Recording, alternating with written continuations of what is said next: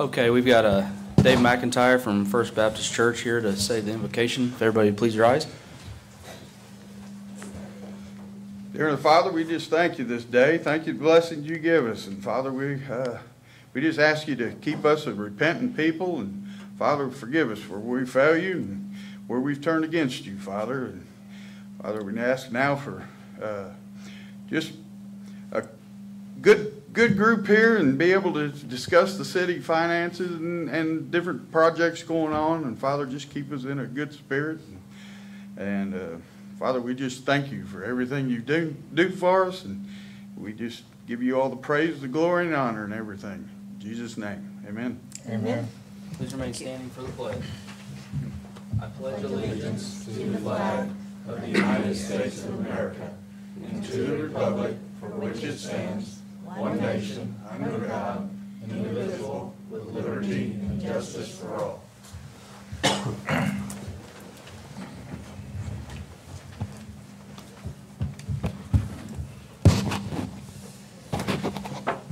All right, uh, we have no remote participation request. Call the meeting to order at 6:08. Roll call.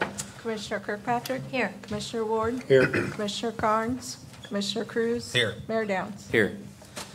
Approval of minutes from the regular meeting, February 13th, 2024. If there are no questions or concerns, would entertain a motion and second to approve those as presented. So moved. Motion by Commissioner Ward, Second. second by Commissioner Cruz. Roll call. Commissioner Ward? Yes. Cruz? Yes. Kirkpatrick? Yes. Mayor Downs? Yes. Have no treasurer's report. Uh, Approval of bills to be paid. If there are no questions or concerns, would entertain a motion and a second to approve those as presented as well. So moved. Motion by Commissioner Kirkpatrick, Second. second by Commissioner Cruz. Roll call. Commissioner Kirkpatrick? Yes. Cruz? Yes. Ward? Yes. Mayor Downs? Yes. Have no proclamations. On guests, we have uh, Dave McIntyre to address the council regarding World Changers Program. Dave, on up to the podium where you were, and your uh, companion can come with you, and he can, Yeah. yep. Um, Yeah, well, we're just here to, we're trying to bring a world changers uh, into this area, and I don't know if you're familiar with it. What it, what it mainly is, is uh, we're working through our Baptist church, um, but it's, you know, it, any denominations uh, welcome to help or do whatever, and it's mainly about the kids doing a lot of the work.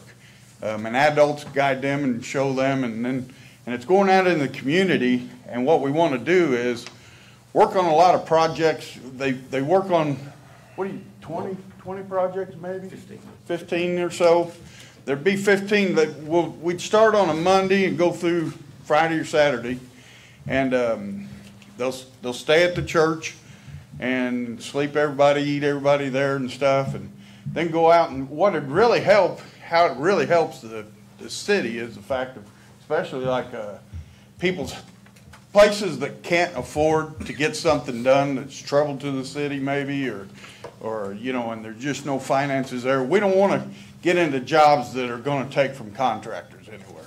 So it's ones that are just, you know, they either need cleaned up or, or they do a lot of porches, wheelchair ramps, uh, uh, siding, uh, painting of the houses, just general good cleanup and making them all look better and, and just, you know.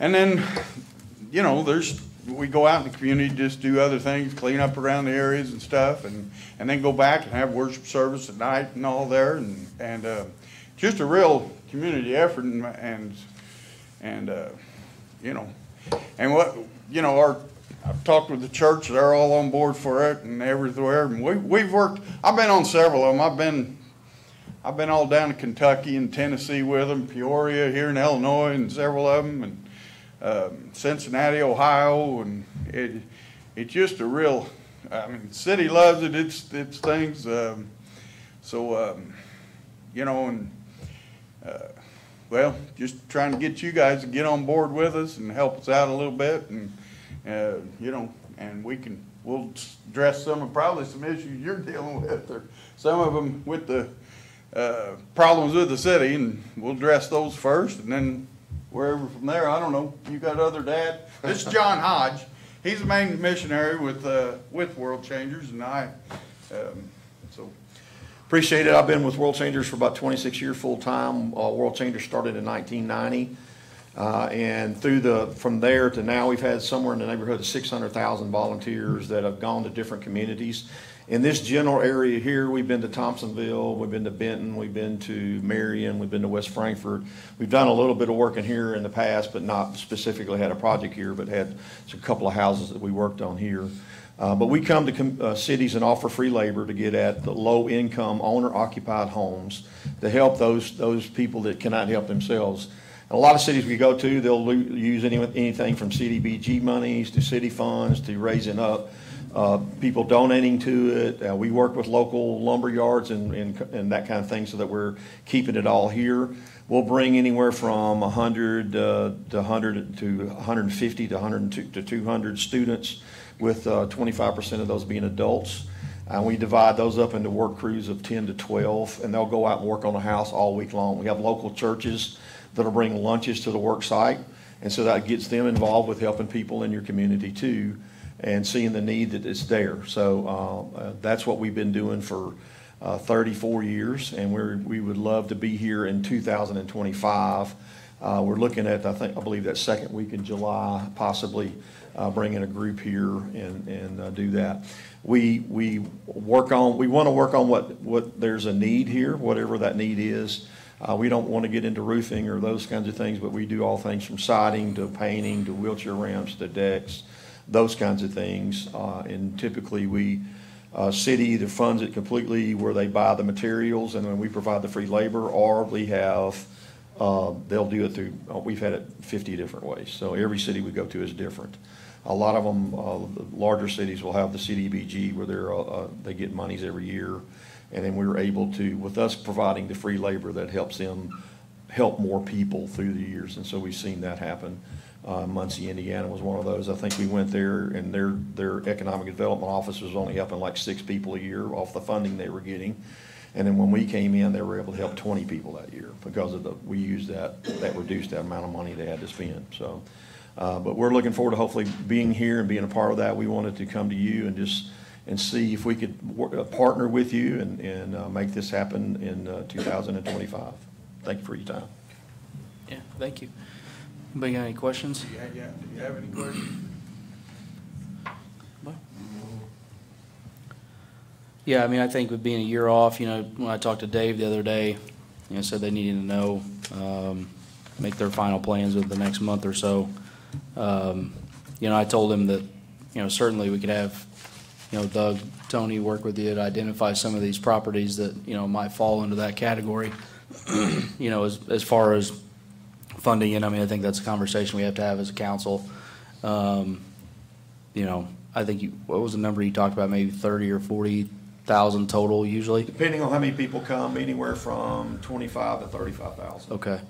Yeah, and that was, they answered the question about the lumberyard, because I asked them that, if they kept everything local, and they said yes, so.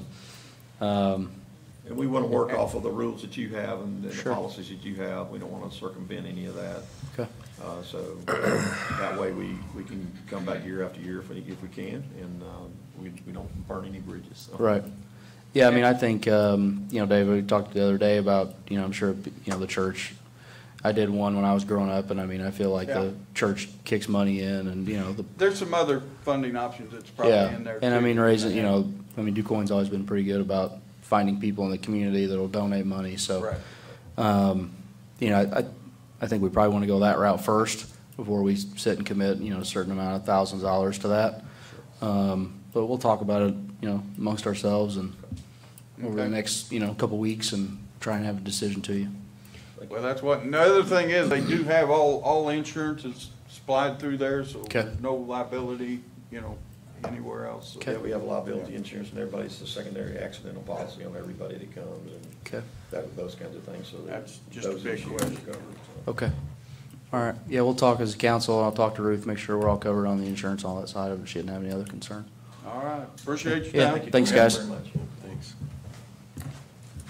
Okay, um, on appointments, we got a motion and vote to hire, uh, Bill Klein and Trinity White as part-time telecommunicators in the police department. Uh, If nobody has any questions or concerns, would make a motion, or entertain a motion in a second to do so. So moved. Motion by Commissioner Ward, Second. second by Commissioner Cruz. Roll call? Commissioner Ward? Yes. Commissioner Cruz? Yes. Commissioner Kirkpatrick? Yes. Mayor Downs? Yes. And motion to vote to hire Samuel Gibson as an auxiliary officer for the police department. If there are no questions or concerns, we entertain a motion and a second to do so. So moved. Motion by Commissioner Ward, Second. second by Commissioner Cruz. Roll call? Commissioner Ward? Yes. Cruz? Yes. Kirkpatrick? Yes. Mayor Downs? Yes. We have no consent agenda, no public agenda. Resolutions, we have 2024 R02-02, resolution authorizing purchase of real property, and this is for final approval. This is for the uh, house right across the street on- from the library here. So if there are no questions or concerns over the last two weeks, would entertain a motion and a second to do so.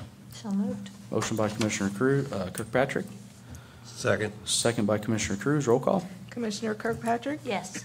Commissioner Cruz? Yes. Commissioner Ward? Yes. Mayor Downs? Yes.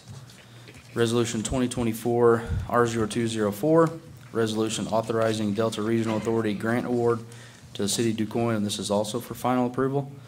If there are no questions or concerns, would entertain a motion and a second to do so. So moved. Motion by Commissioner Cruz, Second. second by Commissioner Kirkpatrick. Roll call? Commissioner Cruz? Yes. Commissioner Kirkpatrick? Yes. Commissioner Ward? Yes. Mayor Downs? Yes. Uh, Ordinance 2024-002-02 is an ordinance for annexation, 1453 Washington Street, and this is for final approval. Would entertain a motion and a second to do so. So moved. Motion by Commissioner Cruz, Second. second by Commissioner Ward. Roll call? Commissioner Cruz? Yes. Commissioner Ward? Yes. Commissioner Kirkpatrick? Yes. Mayor Downs? Yes. Uh, Resolution 2024 R02-05, resolution authorizing purchase of hydraulic hammer, and this is for debate and public display. This would be for use in the uh, street and water department when they have water breaks and we need to bust up the concrete. Uh, Purchase price was 10.5, Ruth? 1,500. Um, If there are no questions or concerns, would entertain a motion and a second to put it on public display. So moved. Motion by Commissioner Cruz. Second. Second by Commissioner Kirkpatrick. Roll call? Commissioner Cruz? Yes. Kirkpatrick? Yes. Ward? Yes. Mayor Yes. Resolution 2024 R0206 is a resolution authorizing purchase and repair of diffusers and connections in the aeration tanks from Parkson Water, and it's for the water treatment plant. And this would be for debate and public display as well, and this was, we had some pumps go down, right, Ruth? That was gonna be causing us some issues, or Wade, whoever wants to. Yeah, it's, uh, a couple of pumps went down and they're just, wore, wore out and they, we need them, you know, as soon as possible to get them done. What was the total price you had? I'm working, I see it. Hundred and twenty thousand? Emergency stuff's always real expensive. and it never- 120,000. Never can be like five grand. All right. Um, If there are no questions or concerns, we entertain a motion and a second to put on public display. So moved. Motion by Commissioner Cruz, Second. second by Commissioner Ward. Roll call? Commissioner Cruz? Yes. Commissioner Ward? Yes. Commissioner Kirkpatrick? Yes. Mayor Downs? Yes. And last but not least, Resolution 2024 R0207, resolution condemning 412 West Summer Street. And This is for final approval. Would This was entertain a, a, this was a fire they just recently had, so. Uh, would entertain a motion and a second to approve that. So moved. Motion by Commissioner Kirkpatrick, Second? second by Commissioner Cruz. Roll call? Commissioner Kirkpatrick? Yes. Commissioner Cruz? Yes. Commissioner Ward? Yes. Mayor Downs? Yes. All right, other business. I don't think we have any. Um, Commissioners' comments? Kalen? Nothing for me. Wade? No, no. Mike? Nothing? Jill? Ruth? I don't think I have anything tonight either. It's a first, I think. Um, Anybody in the audience? I, well, I had one thing and then a question. Yeah. Um, we are under a burn ban until further notice. Yep. So just as an FYI. And then I had a question about the annexation. That's Prysmian Group, right? Correct. So is that part of their, their uh, expansion or what's the reasoning behind the Yep. annexation? Yep, part of the expansion. Okay. Yep. Um, yeah, uh, Chief Dakota was going to talk about the burn ban a little bit too, so.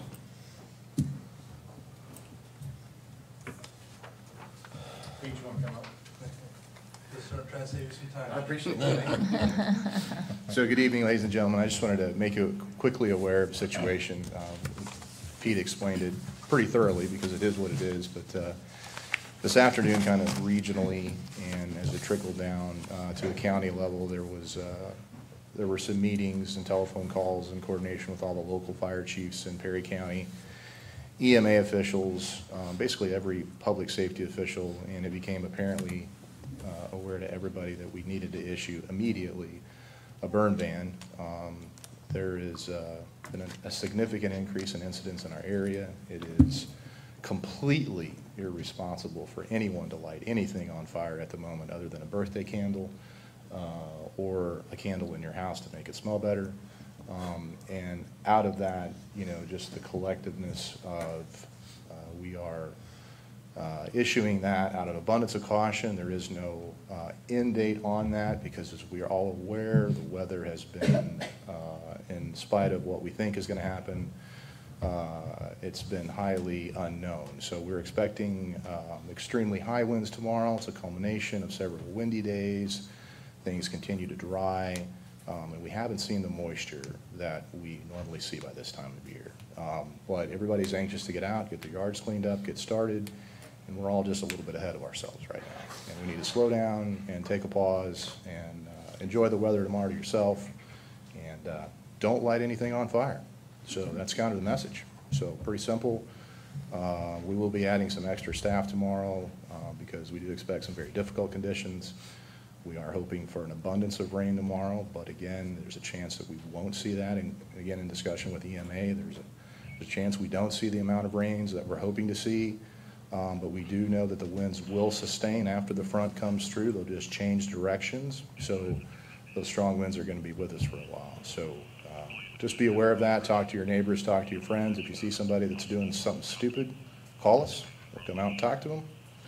Um, Offer them some advice and, uh, and go from there as necessary. So again, questions, concerns for that, contact your local fire chief. Of course, you're welcome to call the Du Quoin Fire Station, speak to me directly about that as well. All right, thank you for your time. Thanks, chief. Anybody else in the crowd got anything? Kathy, were you going to talk? You said you wanted to talk. No, I had all my already. Thank you anyway. Pardon? Thank you anyway.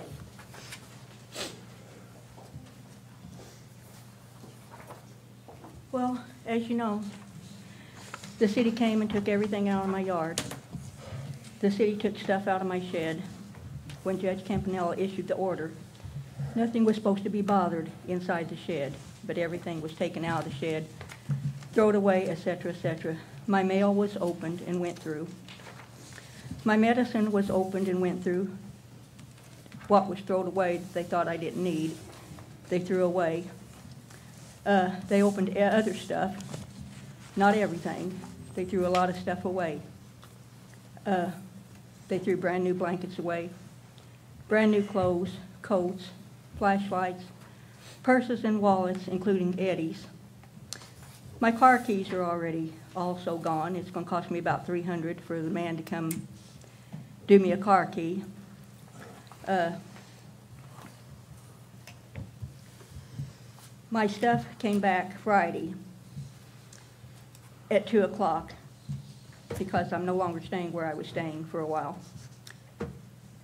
By the time I got home about three thirty, the city had already came and removed some of my stuff that I had just taken to the yard that I carried home from where I was at. Okay. I'm trying to read it all. All right, Doug Tony told me Friday, or he had told a policeman, a policeman had told me that Doug Tony said he was going to come by and check Monday, that I better not have nothing in the shed that I'm not supposed to have. But it was never said what I could or couldn't keep in the shed. It was just, and it was set at city council in front of Alonji and Judge Campanella.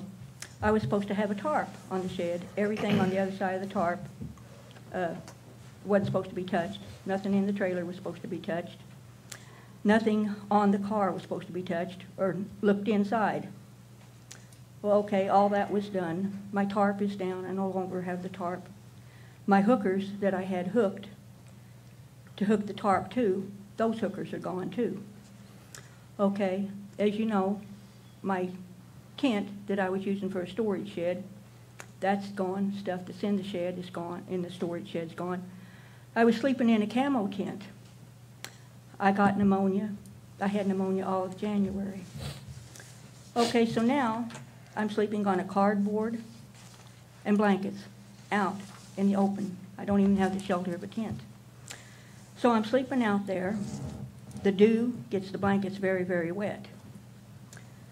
Okay, Doug Tony and his wife came by Saturday. They took a picture of me sleeping, so I'm sure you all are aware of that. Also, Thursday night, I ran into someone at Dollar Store, and they wanted to know what I was doing with the cardboard. I said, well, I'm getting cardboard because that's going to be my pallet where I sleep. So when they went home about 8 o'clock Thursday, the gentleman got his son. They worked all night Thursday night into the AM on Friday.